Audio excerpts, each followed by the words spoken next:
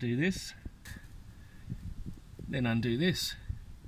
Once it's drained, put this back in with some thread locker on it. Then put this back in with thread locker on it after filling up through here. This is ATF Dex 3 so when I undo this a whole heap of uh, reddish, brown, black, whatever stuff will come out. I've got my short extension half inch drive and I've just wedged it in there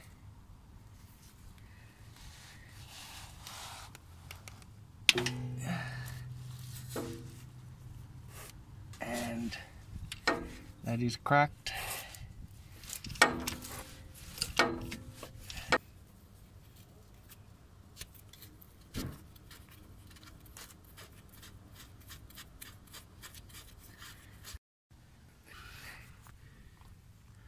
you can see, I have my breaker bar. Breaker bar has a huge pole attached. Maybe it's overkill. I just have to stand on that and it should crack. The filler's been removed, so should shoot fluid out after I stand on this.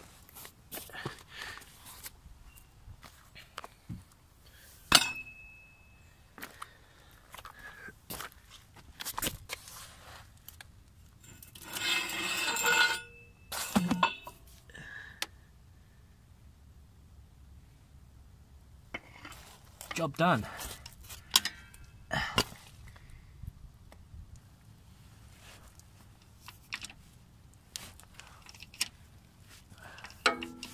Okay. Three, two, one. Fluid.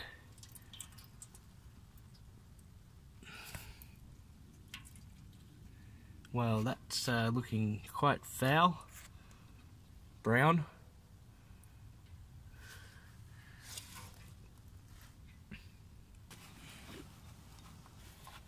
Might as well wipe the um, filler port hole as well. I might just let that drip.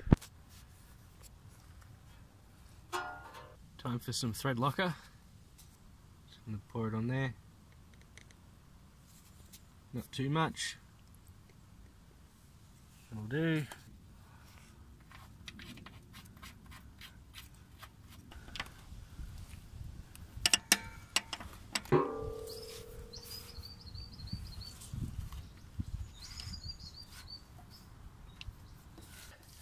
Now I've done that up pretty tight. I might come back and use the torque if it'll fit. Otherwise, I think I'll just leave it about that tight.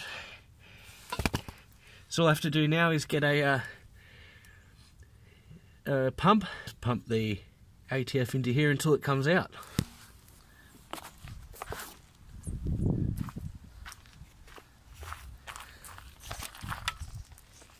Is just a high pressure hand water pump thing. All I did was I bought this from um, shop, whatever you, Bunnings. Just cut the tip off. Got a knife, cut the handle off. Now this goes into the uh, the filler hole. You can stand outside and, and pump this. So I'm going to put a couple of litres, probably three litres into here. Pump it all in. When it starts uh, coming out of the filler port, that's when you're done. And that's when you'll chuck some thread lock on this guy and screw it back in while the oil's flowing out.